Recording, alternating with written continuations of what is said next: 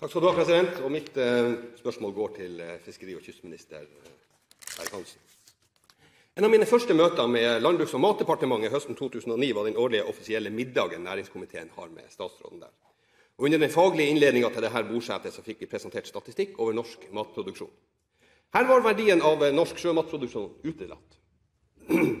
Dette ble selvfølgelig påtalt, og det byråkratiske svaret var at man i Landbruks- og matdepartementet ikke regna inn norsk sjømat når man laga statistikk over norsk matproduksjon. I næringskomiteen spiser vi i fint selskap, og noen uker senere var vi altså på offisiell middag hos fiskeri- og kystministeren. I velkomsttalen kunne statsråden bekjentgjøre at nå var den norske produksjonen av sjømat innregna i statistikken til Landbruks- og matdepartementet når de presenterte tall for norsk matproduksjon. Undertegnede og statsråden var skjønt enig i at sånn burde det også være. Derfor president, er det med undring jeg har mottatt den lenge etterlengta landbruksmeldinga fra statsråd Brekk. Her sier man mye om norsk matproduksjon, det er ikke det. Ja, man omtaler til og med norsk sjømat i rosende ordelag. Rimelig nok. president. Rimelig nok. Og det er når man kommer til begrepet selvforsyningsgrad at jeg blir litt stuss. For Norge har ifølge Landbruks- og matdepartementet en selvforsyningsgrad på under 40 Og president, regjeringa har som mål å en, eh, opprette en selvforsyningsgrad på 50 Nå er jo eh, denne statsråden er vel kjent med både norsk produksjon av eh, sjømat i volum og verdi. Eh, og eh, Sannheten er jo at matproduksjon basert på norske råvarer utgjør mer enn 80% av det norske forbruket. Jeg har også et lite spørsmål til statsråden. Er ikke det et paradoks at vi bruker en definisjon på selvforsyningsgrad som, som utelater norsk sjømat, norsk sjømat, all denne tid statsrådens visjon er at Norge skal bli frem, verdens fremste sjømatnasjon. Er det ikke da president, sånn at vi bør innrømme for oss sjøl at det er mulig å ernære seg på sjømat? Statsråd Lisbeth Berg-Hansen. President, eh, Når det gjelder landbruksmeldinga, regner jeg med at det blir rikelig anledning for representanten Bakke-Jensen til å diskutere den med landbruks- og matministeren også senere i dag. Vi skal vel ha en sånn felles behandling av budsjett. Eh, så er det jo helt opplagt at vi har eh, mat eh, tilgjengelig i store mengder. Vi har faktisk så mye sjømat at ja, drøye 95% av den må vi jo da eksportere for at vi ikke skal gi den norske befolkninga i hjel på sjømat. Jeg er helt enig med landbruks- og matministeren i at vi må ha et kosthold som er komplementært. Det betyr at vi må produsere ting i tillegg. Jeg tror ikke den norske befolkninga, selv om jeg spiser mye sjømat, vil si at det alene eh, var eh, nok til å dekke et, et helt kosthold, selv i disse smørtider.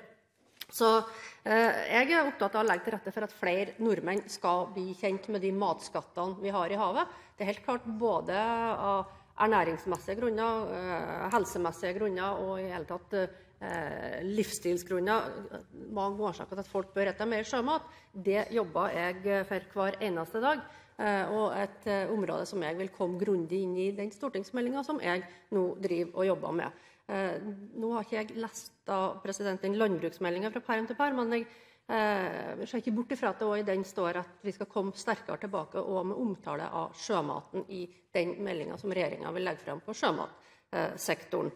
Og så gjøres det veldig mye bra både på sjø og land for å både øke selvbergingsgraden, men òg for å få fram norsk mat det fortjener norske forbrukere. Eh, og Senest i helga var jeg og landbruks- og matministeren med på samme arrangementet. Det norske måltid, der vi får presentert det beste både fra sjø og land. Og jeg tror eh, alle norske matprodusenter har mye å hente på at vi samarbeider på det området. Bakke-Jensen til oppfølging. Takk skal du ha, president. Det er jo, eh, så jeg er ikke i tvil om at, at fiskeri- og kystministeren er i stand til å få i seg et måltid fersk fisk uten bråna smør. Så jeg tror ikke det er litt av det problematikken. Eh, men eh, i forhold til den nasjonale satsinga så, vil jeg gjerne eh, dra det litt videre. Det finnes en nasjonal strategi for, for, matproduksjon som heter 'Smaken av Norge'. Der er sjømat nevnt én gang, og det er under et kapittel at man må skaffe bedre markedstilgang for norsk sjømat. Der er man altså veldig fokusert på å få denne sjømaten ut av land.